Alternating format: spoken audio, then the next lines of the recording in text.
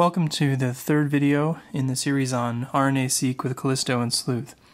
I've talked about an overview of RNA-seq in the first video, how to use kallisto in the second video, and in this screencast I'm going to talk about doing exploratory data analysis of the data that you processed with kallisto. Sleuth is a library for R that can be used to process and view the data coming out of kallisto, and it also takes advantage of the bootstraps that kallisto performs to give you estimates of the technical and biological variants.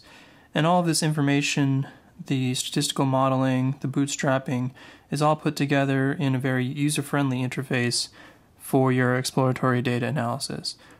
So, to get started, we'll go to RStudio. I've run a script that produces the sleuth object that contains the experiment. There's not time to go over that now, but that will be part of the lab tutorial later. So for now, I'm just going to focus on sleuth itself. To launch sleuth, I'll type sleuth live, and up comes the sleuth live window. I want to draw your attention first to the diagnostic tools. Sleuth offers several different ways to evaluate your experiment. For example, it contains a mean variance plot. This is a plot of the abundance of transcripts versus the square root of the standard deviation. The blue dots represent an interquartile range, and the red line is the sleuth fit to the data. This gives you a sense of how good your data is fit by Sleuth's shrinkage model. There are also scatter plots, with these, you can scatter any two data sets against each other. So you're looking at the log of the counts per transcript in the 366 sample on the x axis and the 367 sample on the y axis. These two samples are biological replicates, so we expect them to be pretty tightly correlated.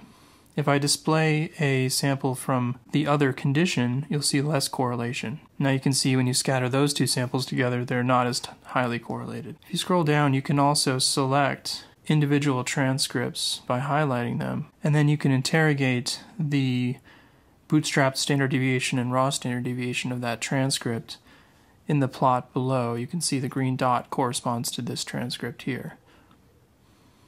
You can select some more and you can see the variance of those transcripts. Another useful diagnostic tool is the quantile-quantile plot. QQ plots are a technique for determining if two data sets come from the same underlying distribution. Here we have a theoretical normal distribution on the x-axis and the observed quantiles in the data on the y-axis. Blue is the reference line and the red dots are significantly differentially expressed transcripts given a certain false discovery rate. Next, there are some data summaries. There are density plots that show you about the distribution of abundances. You can see between the two conditions how the abundances are distributed. This is the log of the mean of the transcripts per million. You can change the transformation. You can use estimated counts instead of TPMs. And if you had more than one condition, you could evaluate that here. You can also look at individual samples and how their distributions change. Another summary is the design matrix. This tells you about uh, what Sleuth is using for the model for the control and experimental condition. So samples 66, 67, and 68 are considered condition scramble, and samples 69, 70, and 71 are not. You have some information about the samples and the processed data, the number of reads mapped, the number of bootstraps performed. And finally, the kallisto table is a table of the abundances. It's the same as the output txt file from running kallisto.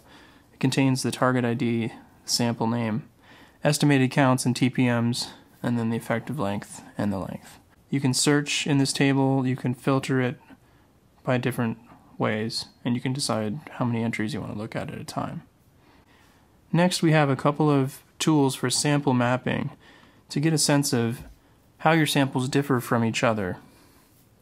In this case, we're doing principal component analysis of the six samples in this particular data set, and you can see that they separate very well by control and experimental condition. All three HOX-A1 KD samples are clustered together and the scramble samples are also clustered together. This is a very clean, very high quality canonical data set and this is what you ideally want to see a very clear separation in the first and second principal component between your samples.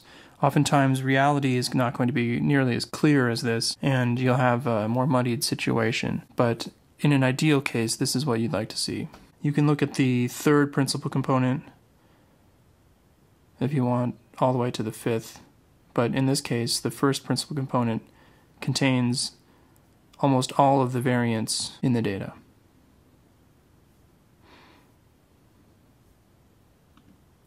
You can also look at the samples by heat map, where the distance between the samples has been measured by the Jensen-Shannon divergence. You can think of this as a type of distance metric, although it's not formally a distance.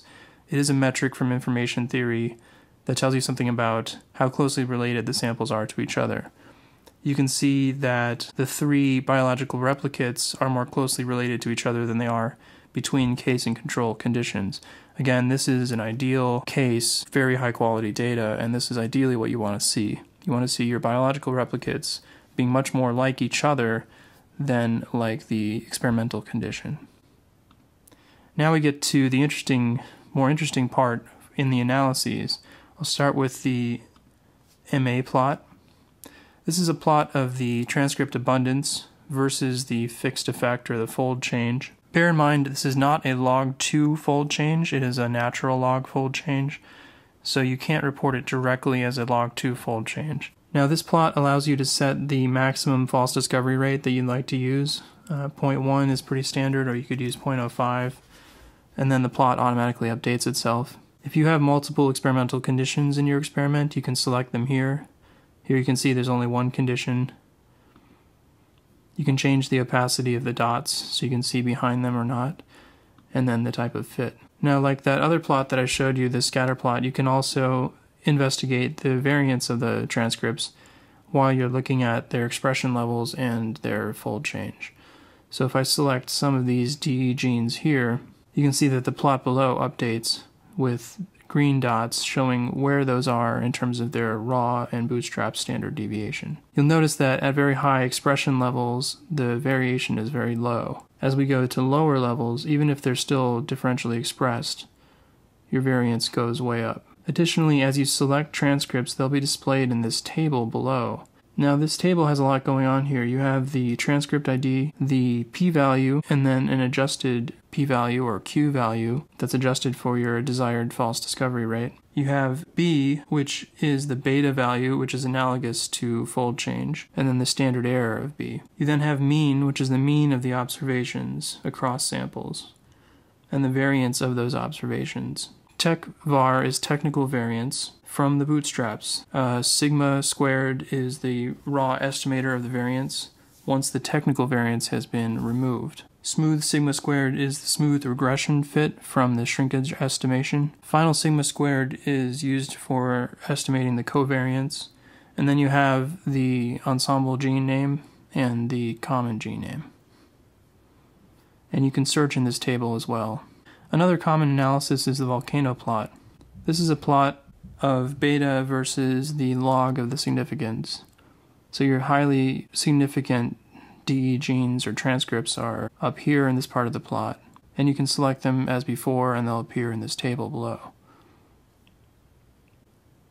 Next we have a heat map. In the heat map you can select uh, transcript IDs that you're interested in and have them plotted in heat map format against each other. So you'd enter your transcript IDs here and then it would create a heat map for you. Next we have the gene view. This gives you a box plot of the abundances of the transcript mapping to a given gene and their technical and biological variation. So for example, I'll put in notch 1 and say change this to ext gene and say view. Now you can see the transcripts originating from the notch 1 gene. There are three of them in this transcript, it looks like there is significant differential expression.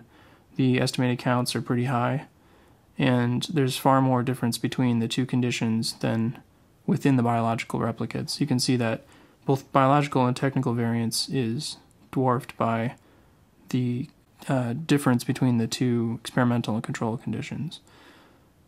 For the other two transcripts, it looks like they receive very, very few or no counts in the majority of the samples.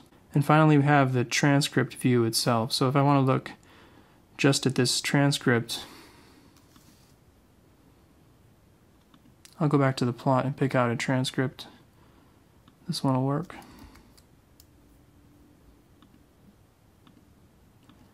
and I'll enter it here and I'll ask to view it.